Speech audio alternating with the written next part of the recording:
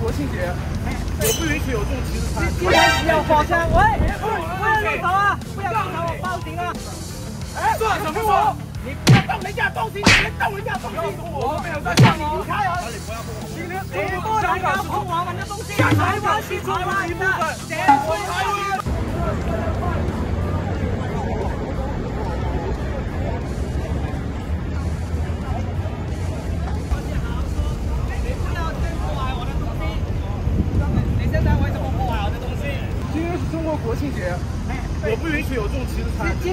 火枪，喂，不要动手啊！不要动手，我报警啊！别动手啊！马上报警！现在是你动手啊！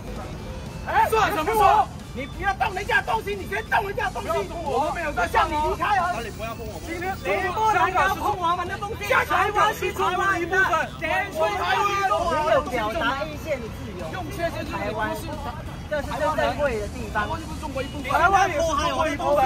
OK，可以。台湾、香港都是中国的一部分。台湾是台湾人的，香港是香港人的。就他们两个，他们两个，你们你们哪里？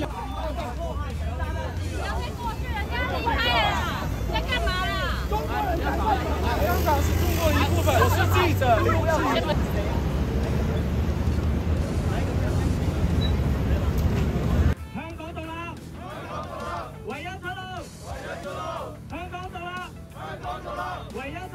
这一个不是自由民主的国家可以发生的事情。我觉得我们在民主自由的国家，你不认同我们的想法，你可以跟我们讲，不是你一来就把我们的东西全都破坏。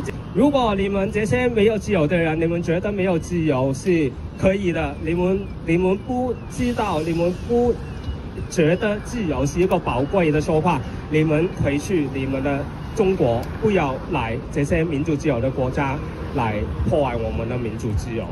他们就一直在说哦，台湾也是中国的，香港也是中国的。那甚至其实会有台湾的一些民众呢，他们就是说哦，你们香港为什么在这里？我们今天之所以在这里，就是想要为所有受到中国迫害的人发声。我们也会有心中有一个期盼，可以那一些刚刚有破坏行为，他们是因为懵懂、他们无知才做出那些行为，而不是出出于他们的本意。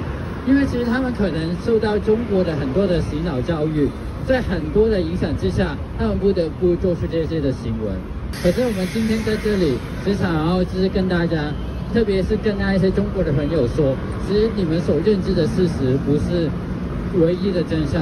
所以我们也希望透过这个机会，无论是跟中国的朋友、跟香港的朋友，甚至跟台湾的朋友，说明这些情况。是敌对国，香港是中国，不要再摸，香港是中国。先不要吵，先不要吵，请逮捕他。我们自己认定，不是你，警察不是你，好不好？我们是警察。中国的小粉红呢，在旅游观光的时候呢，跟世界各国的呃当地的人民或是其他国家的观光客起冲突，这已经不是第一次。那这样的背后，当然就是所谓的侵略性民族主义。那这个当然是长中共长期灌输老百姓爱国教育所形成的。这一套的这个侵略性民族主义的背后，也反映了中国的人权跟世界各国人权的不相容。那也凸显了，就是说，中共呢一天到晚说会尊重世界各国的文明，彼此互相尊重，彼此互相包容，这样的谈话呢，根本是假的。起码起码大家要尊重对方，呃，不应该用呃武武力武，即係不用打架这个情况啊，就是在嘴巴闹都要因為那那個講那个吵架，吵架都我都应该我我说都不应该是这样子，因为每个国家有他们自己诶、自己国家的想法啦，对不对？都是敌对国，香港是中国，不要再摸，香港是中国。先不要吵，不要吵，台湾也不可能。请逮捕他。我们自己认定，不是你，警察不是你，好不好？我们是警察。你是警察。轻一点。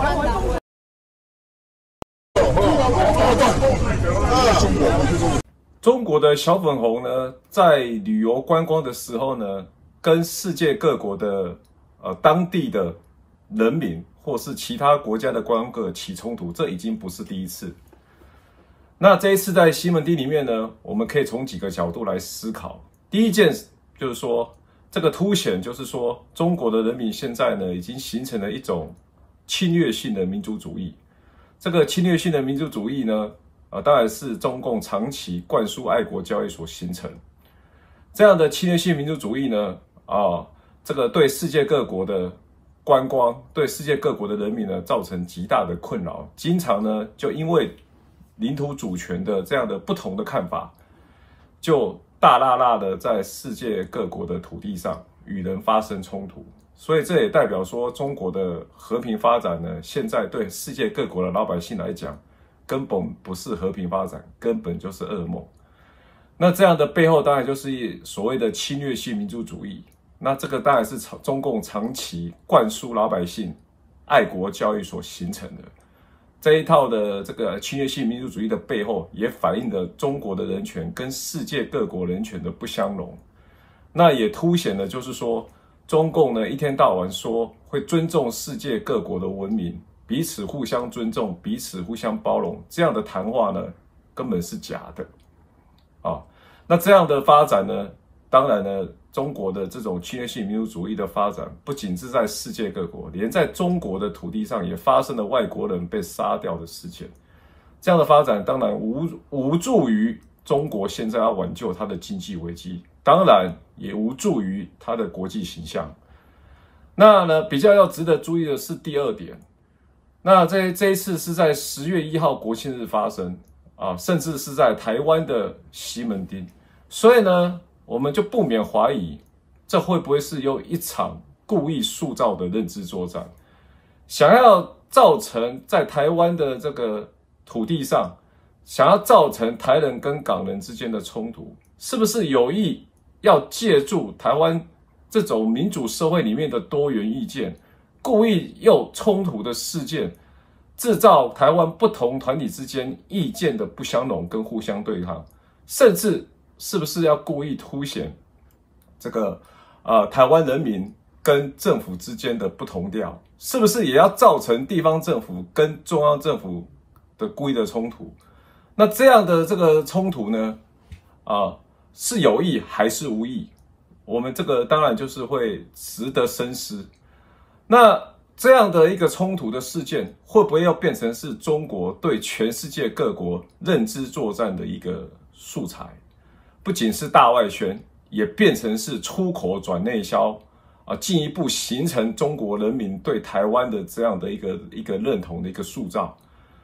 那这样的认知作战。在台湾的西门町制造这样的冲突，是不是有意要造成国际社会误解说，啊，台湾的政府、台湾的老百姓是允许中国人，啊，是这样子对待香港的问题？是不是也允许？是不是也要故意造成国际社会的质疑？就是说，台湾就是中国的一部分？那台湾政府跟台湾的这个警察跟台湾的社会之间，对这样的事情？的一种所谓的民主社会的多元跟包容的特性，会不会变成是中共有意塑造台湾内部彼此之间不同团体的互相的对抗的这样的一个冲突的升级，甚至啊故意的引发这个中央政府跟地方政府的冲突冲冲突，甚至故意。啊，要来让台湾的老百姓呢动摇对自己的土地、对自己国家认同的混淆跟质疑呢？那这样的一个冲突呢，又变成是中共大万学跟自己啊，转而是内销的题材啊。更麻烦的是说，我们要值得啊看的是说，那这个冲突的的背后之间，如果是有意操作，那是不是接下来中共有意哦透过？在台湾的在地代理人的这些民意代表，或者是所谓的民嘴这些意见领袖，进一步要发动啊新一波的法律战跟认知作战呢？这个都是我值得我们可以深思的。但你觉得香港是中国的吗？对呀，因为香港因为回归中国了嘛，起码起码大家要尊重对方，呃，不应该用呃武。武力武，这不用打架这个情况啊，就是在嘴巴闹都要要那那个讲那个吵架，吵架都我都应该我我说都不应该是这样子，我可以接受啊，中国只有一个嘛，对，中国只有一个嘛，无论无无，你台湾可以说中国都是台湾的，你都可以这样子说，对啊，在讲啥？哈，香港、台湾、澳门，整个中国大陆基本上是一体的啊。但是因为有不同的那个政治那个团体，所以你你所以现在构成这个构成这个问题嘛啊。对。如果你问我，都是都是一个国家吗？我说是，但是有个问题，大家都要尊重，因为有个历史的问题。香港人呃本身我是个香港人啊，我尊重中国，但是你问我现在的中国怎么样，我就真的不肯讲了，因为有有国安法嘛啊，我讲错我就问题大了啊，所以没办法啊，你你你要问我是一个中国，对，真的就有个中国，好，历史是这样子嘛，嗯，就每个国家有他们自己诶自己国家的想法啊，对对对。那你会觉得说，其实台湾比较可贵的地方，就是因为可以表达自己很多不同多元的意见。诶，对啦，但是我也不知道中国大陆那边是怎么样这样子。对对对，那在台湾就相对是自由了。嗯，那你会觉得说香港是中国的吗，还是什么？诶，这我就不知道哎。对对对。所以你觉得说，其实我们跟中国是互不隶属吗？互不隶属。诶，就中国是中国，台台湾是台湾。诶，因为我们有自己的国，有自己的国旗啊。对啊，我是这样觉得啦。